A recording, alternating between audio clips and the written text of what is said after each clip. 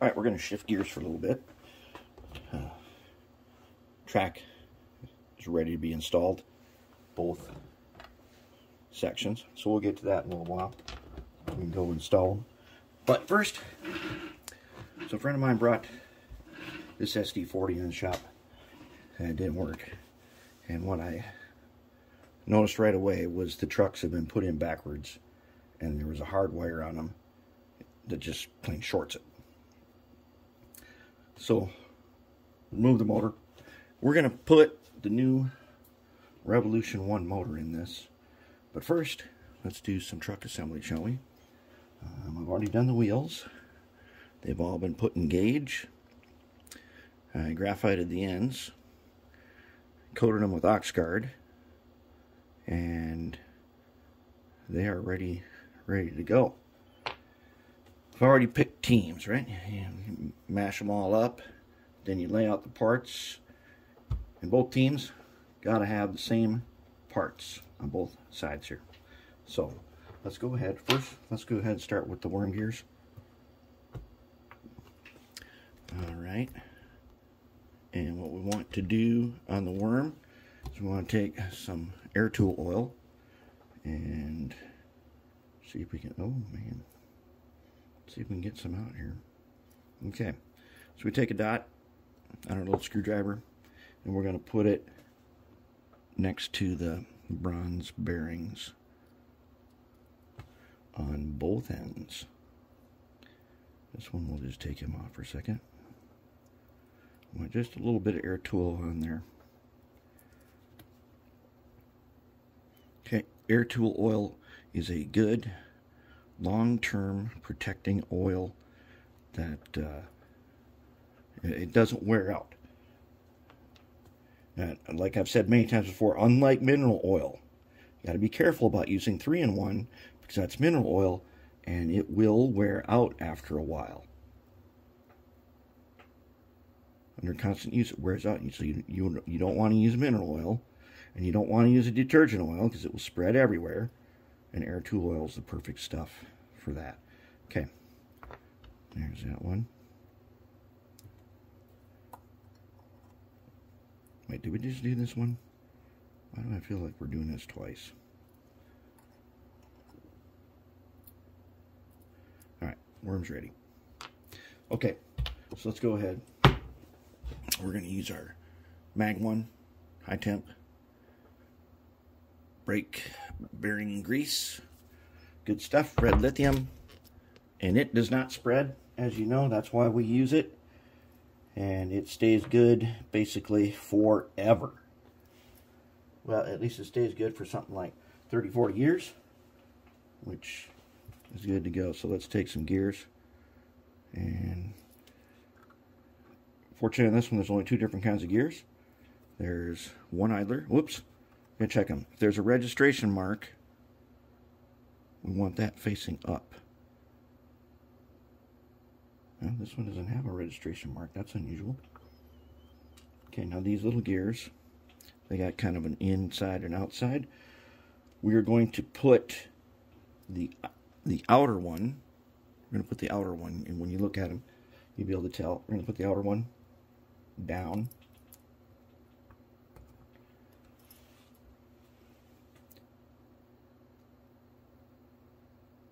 It's important to get them all the same.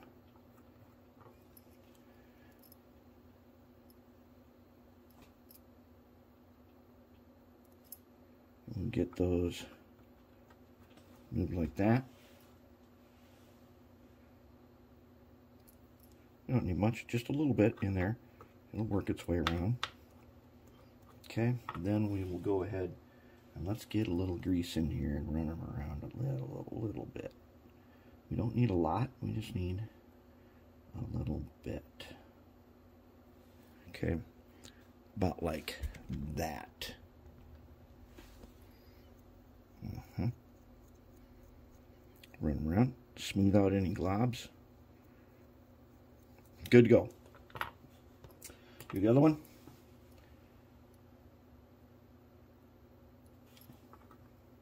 Hmm.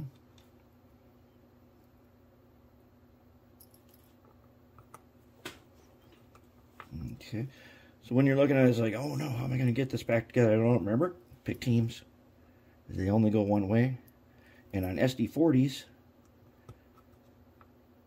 they um,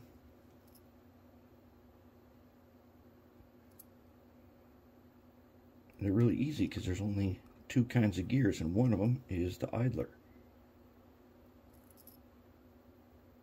Okay. All right. Let's go ahead give them some grease. I put the grease right in the corners here so I can get them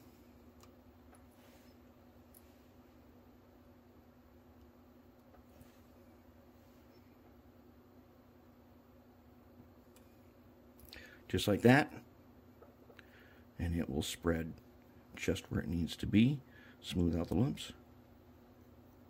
All right there we go. Now let's go ahead.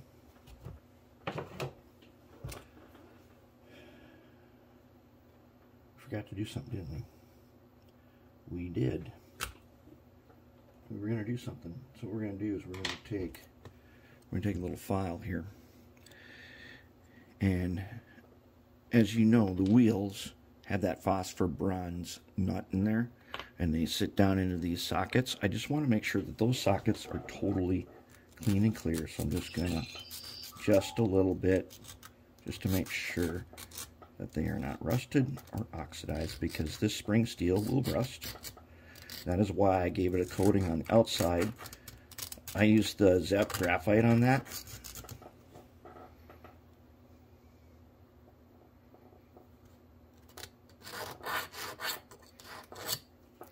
remove any oxidation.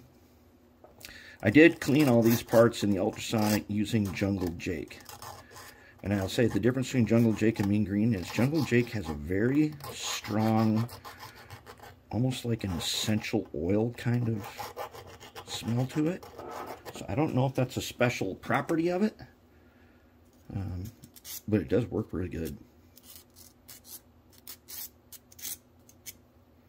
Mm, we're just going to clean these sockets.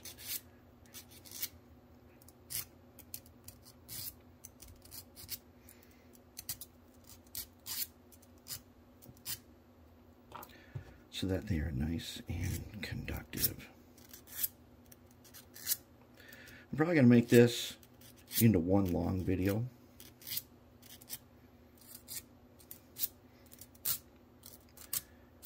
Yeah, it could be kind of long. It could be an hour or more. But anyways, there's that. Then we're going to go ahead and we're going to take our Oxgard little paintbrush. Now I've already, so the outside is sealed with the graphite. We're going to do some soldering and we're going to clean it and, and, and then we'll, we'll uh, protect it. But I want to do that.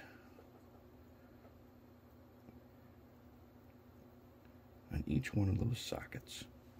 All right, just enough Oxgard, because Oxgard is on these nuts also, but I want to make sure that uh, I'm protecting the steel here. And Oxgard will turn to a dry film. And then it'll be sealed in. No oxidation. And the Oxgard is very conductive will have excellent contact. And it doesn't really matter if I get it anywhere else because it is turns to dry film eventually.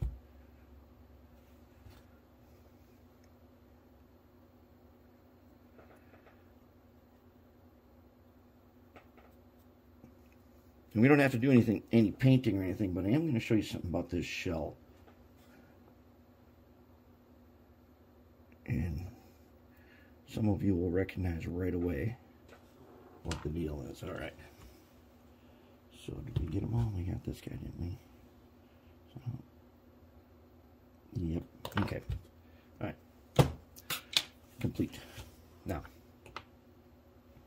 let's go ahead and put them together. Like so. Drop in. Now, before we drop in any wheels, let's go ahead and lock them down with the little small caps. Okay.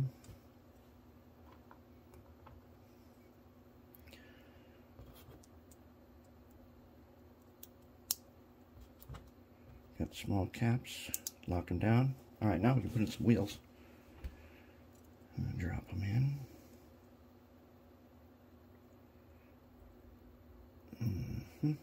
There's one. And yes, I, I gauged them. So they are engaged. That's very important. It's one of the things that you got to do every time because wheels come out of gauge. Okay, now let's make sure that we are lined up just right. I, these things might be directional. That one looks like it's good. Okay, let's do this guy.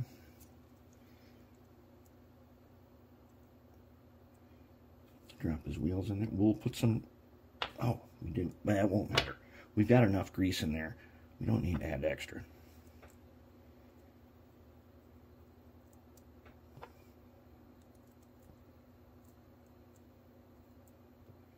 Okay.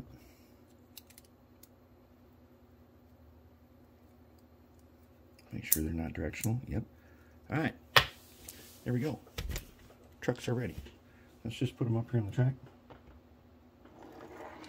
Oh, yeah, nice and smooth. Now, our standard is that they should feel smooth.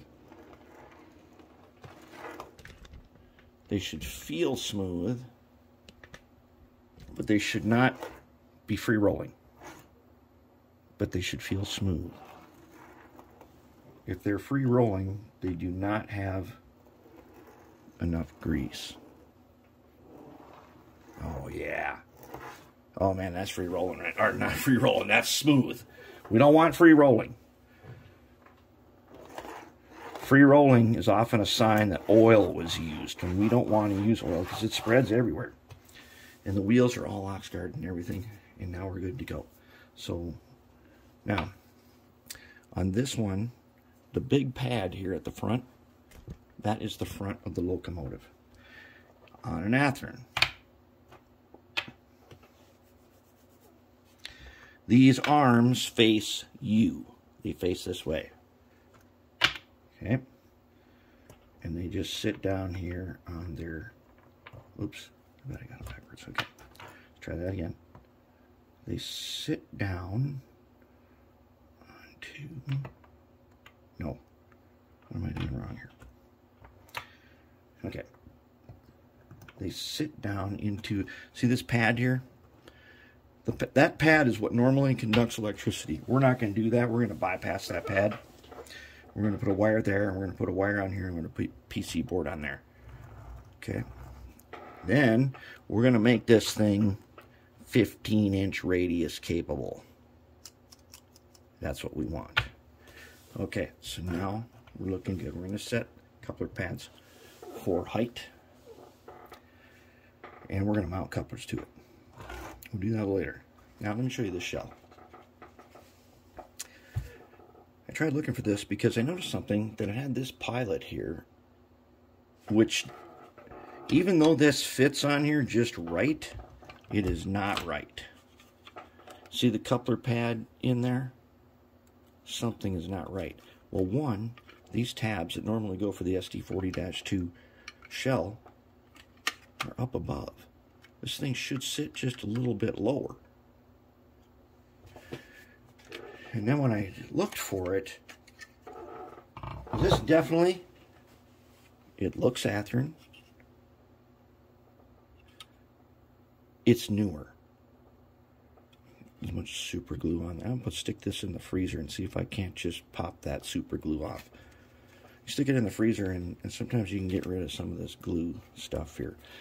But a normal Athearn SD40-2 Blue Box does not have this full pilot here. It's usually cut off here. So we got to do something to this shell and that frame because this is the shell that we want on it. And we'll figure out a way to do that. We'll, we'll make that modification. And then the worms don't go on till later, so I'm not going to grease them now. And that's where we're at with this right at the moment. Uh, next up, we're going to do a little, I think we're going to do some framework. Okay, here's the motor that came out of this blue box. All right. So, I'm not putting this back in, but I am going to tune it up. And so taking out the brushes and the springs. These springs, to me, seem kind of strange. Um, they have an awful lot of coil in them. I mean, they got... Look at that. They have a lot of extra coil. Okay. And seems to me that these should be phosphor bronze, but they're not. Eh, doesn't matter. This is, I think this is a more modern motor. So I'm going to do a couple things. Uh, one, we're going to go ahead and we need to get some air tool oil to these bearings right here. There's a phosphor bronze bearing in here. And we're not going to pull the flywheels. We can, but we're not going to. We don't need to. What we're going to do is we're going to get, I poured a little bit of oil onto this piece of aluminum. And let's see, well, let's put a little more on there. Okay. Now, if I can get a drop. Uh oh this is going to be, yes, yes it is. Okay, so when it's too tight like this, I forgot. We got to do it this way. What we do is we're to take a X-Acto 17 blade. We're to put the oil on here. Okay. Now, now we can get that oil down here. And we'll get it worked in there. And if you push, you can just barely see see it in there. See that bronze bearing? I don't want to get the oil onto the commutator. I want to get the oil on that shaft that goes in that bearing right there. Okay, and then I want to do it on this side, since I have the, the spring clips off, I got a little extra play. So we can get a little bit of oil right. Then there is a thrust washer right in there. Yes, there is, as there should be. Okay. Oops. All right then. I get just a little bit on the outside of that. All right. There we go. And then, now, that'll be much better. Okay, the other thing I'm going to do, there was a glob of solder right here, and we don't solder to the top of these anymore like the old days. Uh, we do it differently. So let's get some flux. We're going to use the rosin flux. Let us get we got solder. Soldering iron is up. Okay. Got some solder. Soldering iron's up. I'm working on track has worn out this tip pretty fearsomely, but uh, it'll be good enough to continue to do what we're doing. We're going to clean it and we're going to tin it tip tin as good as we can.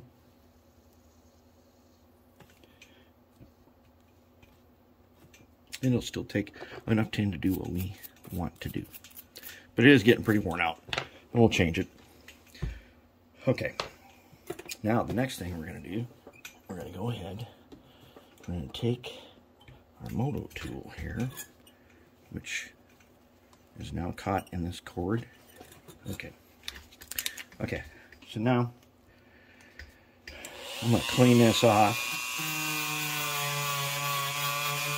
Oh yeah, hold on. I did find, in doing track, I turn it down, I think I said this, I turn it down to the lowest speed, and I don't lose so many wires off of here, and I still get clean. But for this, I'm going to turn it up just a little ways, because I want to do some polishing. And on the top, it doesn't matter. I don't need a lot of polishing. I'm just going to polish off some of the crap. And where it matters is by this this clip. See, one's a hook and one's kind of this sort of S shape. Where it matters is right here. Behind the S, you want that polished really good.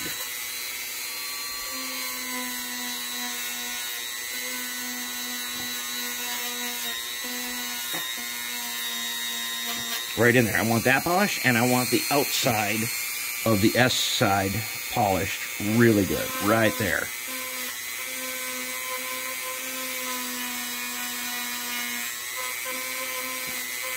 Those are the two spots I want really, really polished. This top, got it clean. We'll just leave. I got enough of that glob off of there. It's good to go. All right, and then we'll just go ahead and, as long as we're cleaning, let's just clean a little bit. Nothing fancy. A little bit cleaner. Okay, good on that one. Let's do the same thing on the bottom one. We need to get inside that S-clip.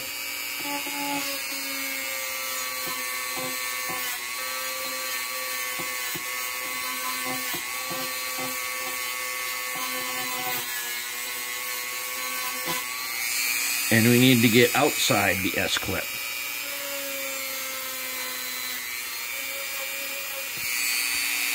And the bottom itself don't look that bad.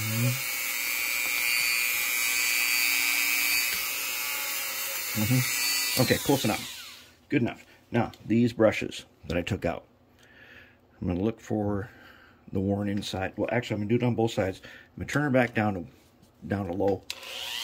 And I'm just going to hit the ends of them. Okay. Just a little bit.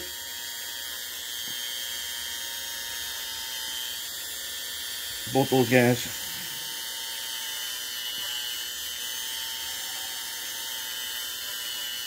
Okay. Now this spring here, I don't really know about, but I want to hit the top of the spring. I want to hit the bottom of the spring.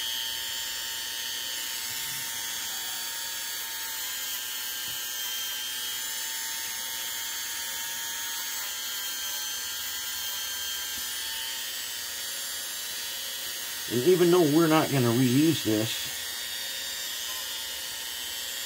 I want to send I want to send it back to them so that this motor can be used and stuff because there's nothing really wrong with it. And there's nothing wrong. And then, okay, we're going to go ahead and we're going to polish this right in here. All right, so let's give them a little bit of polish.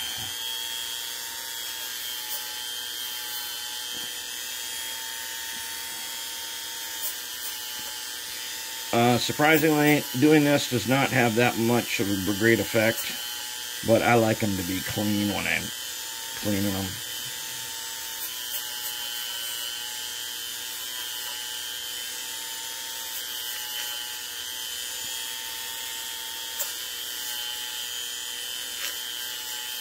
Okay, clean. Anyway, it's just, it's clean. It's not critical. Well, if it's if it's like completely black, then then you want to polish it because that's a sign that you get a lot of buildup. Okay, good to go. Now, a lot of people take this bottom one and they clip these. I don't do that. I take it over to the anvil. I'm taking my ball peen hammer I'm just going to flatten them. Because when we put, we're not putting this back in here. We're going to set this one up for DCC. We're going to isolate that motor. Okay, so if you're just going to put it back in using the standard motor mounts, I flatten these and then I paint this with liquid electrical tape. I used to use black electrical tape, which works fine, but I found that liquid electrical tape, that's the magic stuff. And and we would put that in there if we were going to put this back in. But we're not. I'm going to flatten these so this whole thing is nice and flat again. And then we'll put it together and then we're going to bench test it. And it should be it should be really good to go. Okay, now, well, no, we're not done. We're going to take this here, screwdriver. Now, these guys, the S part, I want to put some rosin flux for electronics right in there like that on both of them.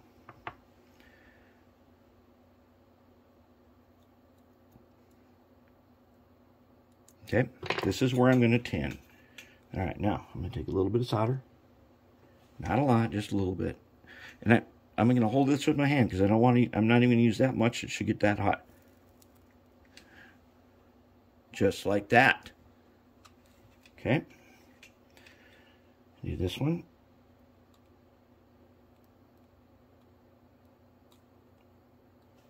This is where I want my solder. All I want to do is tin it, just like that. Okay? That is where you solder. That's how you do it. And you'll see why later when we uh, set this thing up. That's it for the start of rebuilding this. Now I'm going to flatten this down and then I'll show you how we wire it up in a little while. Okay, when reinstalling the brushes, what we want to do is we want to take these and we want to take little ox guard. We want to get this spot underneath. Just that spot right there.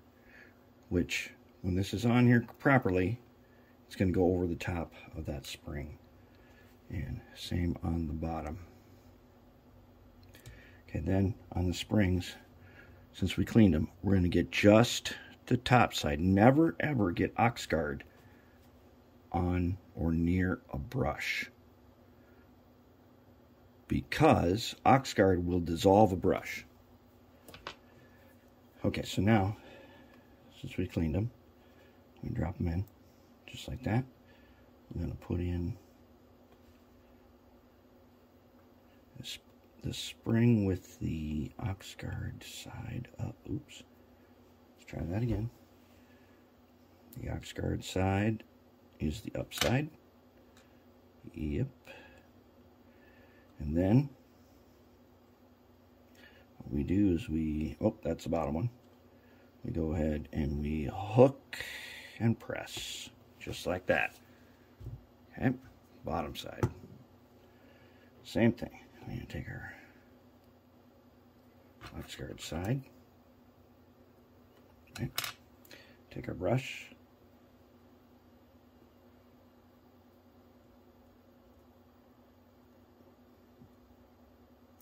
drop in. Oxguard side up, hook, and there it is. Okay, now it's back together. So, what do you say we give her a try? Um, go ahead and turn on the uh, bench tester. Let's get our clips out here. Got them set right now to 4 volts as you can see right there. So let's go ahead and clip on. And we're going to put the black lead. Now, here's the thing. Since it's all conductive, let's get it on the end here. Get them nice and secure.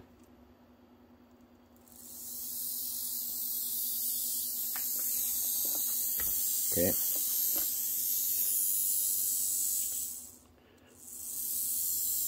Now, as you can see right here, it's drawing a quarter amp at 4 volts.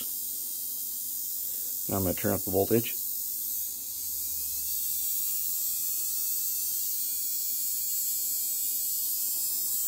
Nine and a half.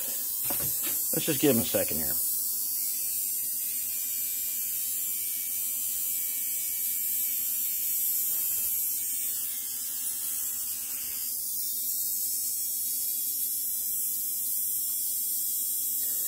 Now, if we break this in right, the amps used, which is that middle number, will drop a little bit. We're at about 0.3, but we're trying to make our way down to 0.29. Once it stabilizes at 2.9, it's going to, we should be able to get it drop to 2.8.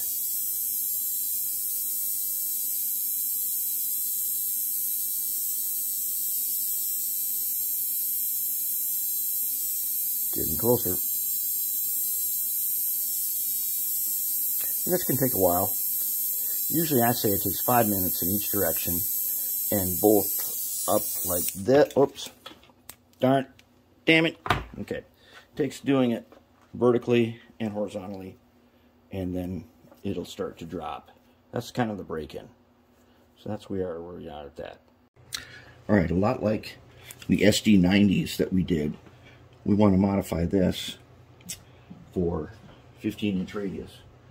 Now, one of the things I noticed on these trucks is that if you can see here, my pointer,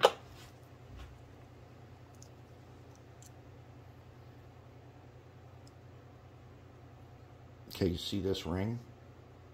If I can get that to focus. Right there.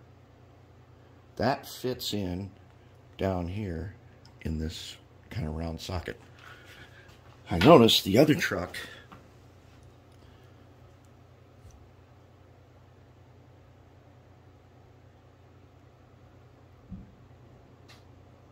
someone shaved it off. I don't know what they were trying to accomplish by that. I don't think it'll be a problem, but it's something we may have to account for later. All right, so let's get started on this. Now, do a little shaving there and there. Then I'm going to test it. I'm going to mark it. And then I'm going to widen this, this, this, and this. So let's go ahead and see what we can do.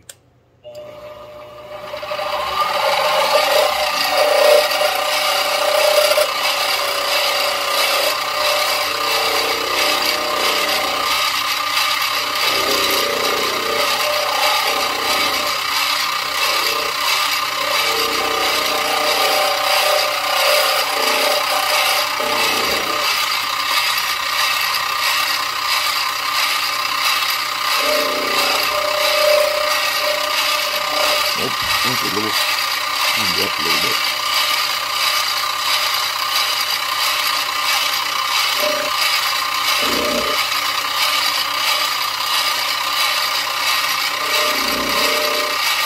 There we go.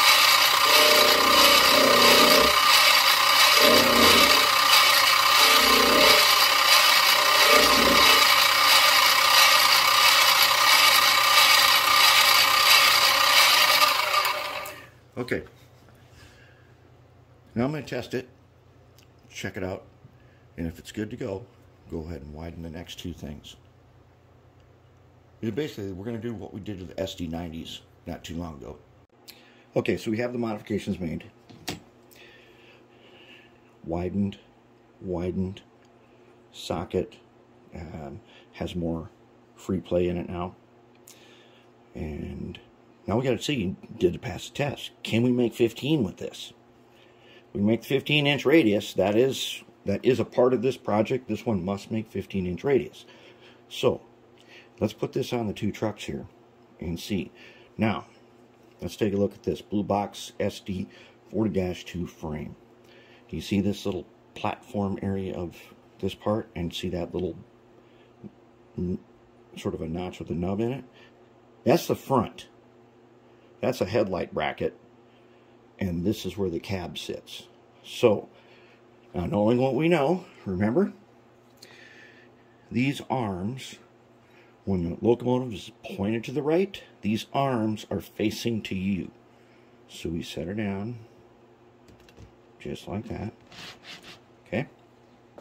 Now, I'm going to cross bridge 15.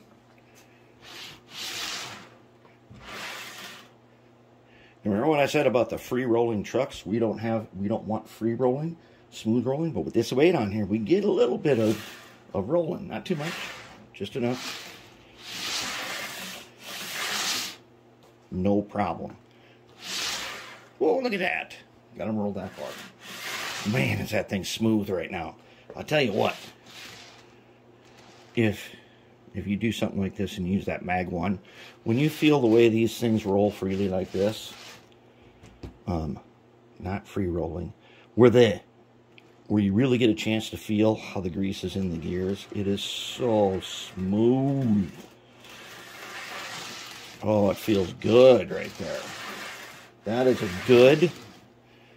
That is really good. And, and no problem. We're, we're not even close on this 15. That is really pretty, pretty good. All right, so next up I'm going to go ahead and I'm going to set coupler height. Okay, to set coupler cut or coupler height on a one of these blue box locomotives, They have a, a mounting pad that you know has a clip that goes over it and the coupler is underneath. But to do Kadee couplers, or couplers that have their own draft gear boxes, we use the Kadee gauge. And let's zoom in and see where it shows that we are supposed to be. Okay, the proper height is when the flat part of the backside here can slip just underneath this thing. And I happen to know from experience, you see how it's got a notch there? All I got to do is mill it off so it's even with the, the narrow part. Then you got to tap, you got to drill it, you tap it, and here's your, oops, here's the set, oh man, it's getting faded. Kadee 246 has has that. It's got the tap and it's got the tap drill and it has a clearance drill in it. 50 is the tap drill, 43 is a clearance. 43 will drill a hole that a screw would pass through. Um, 50 will drill a hole that you can thread with the tap. Now I got from the Hot Wheels Redline store, I got one of these. The one that's in my tap and die set will not hold hold small things. But this this one that I got from the Redline store will. And there's the tap. So I'm going to put a hole in there and I'm going to tap it. So I'm going to go ahead. Now if you're going to do this, and you're not going to use a milling machine or nothing, you're going to use a file. And going to go ahead and file it down and, be, and keep checking your work until you just slip under and then you're right. And then under here happens to be a pilot hole. So we'll drill through that and then we will tap it. And I think I've already got that drill bit, that 50. I got in a pin vise here. Um, if you're doing a bunch of them, I suggest using the drill press. But basically, we'll drill that and then we can go and tap it. Alright, so, so far we're looking like we're in pretty good shape. So here's the frame, and coupler pads are now the right height. Here's where the REV1 motor is going to go. I did just a tiny bit of shaving on these four corners so it would fit in there nice. And then I shimmed it. And I used some of this thin lead. Uh, it's some kind of printing press lead. A friend of mine gave me a whole bunch of it and it's nice because you can cut it. If I didn't have that, I would take the standard lead wheel weights as always, and I would would hammer them into this shape. The thin lead you cut with cut with uh, scissors, and it adds a it adds a little bit of weight. You don't have to use lead for a shim. You can use anything that gets it to the right height. Now I'll put some goop in there. Goop them in place. And I think we'll be ready to paint this frame one of the things we're going to do, I already did a little bit of it, we're going to, these fuel tanks always have this edge on them, the mold edge, so we're going to smooth that off. And then when we paint the fuel tank, it you won't see that, that mold edge anymore. Now I've removed all of the body mounting little nubs on the side because they're not going to work with the shell that we're putting on here. Uh, that shell's been in the freezer for a couple of days. And when I, when I take it out, I think we're going to be able to get rid of some of that super glue that's on it. We're going to wire up the trucks. So one of the things I like to do is I like to take that copper clad PC board that looks like this. You get them in packs. I cut them down and I make these tiny pads here. And I use a triangle file to cut a gap. So these then I like to mount right on top of the arm. So then what I can do, I start doing this. This is, a, this is a copper wire here, and I got it soldered onto the top arm here. I'm going to bend it around and I'm going to solder it to this pad. So that way this pad is going to have the, well the, the, uh, oh no, did I put that down on the wrong side? Does it matter? Yeah, well, okay, I'm gonna move it over here.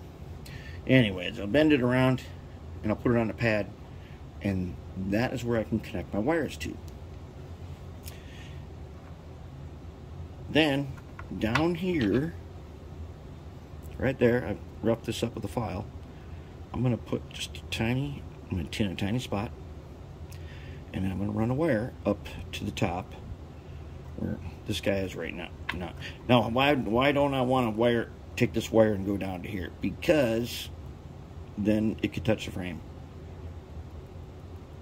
and it's not insulated. Uh, so some, basically what I'm going to do I'm to get rid move that guy over here. Take a wire, come around, and up to the pad. Then I will have a truck, especially in this SD, SD40. All the wiring will be contained within this arm space, and the frame just sits down on top of it. Wires out of the way.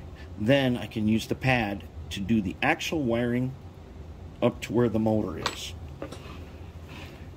So I'm going to fix this and then we'll uh, check it again. Okay, we got two fully wired up trucks here. We've got our insulating material also in and around the well.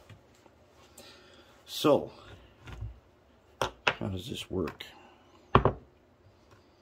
As you can see from the arm, which is red rail, with a piece of copper wire up to the PC board, then down here with a flexible wire up to the PC board.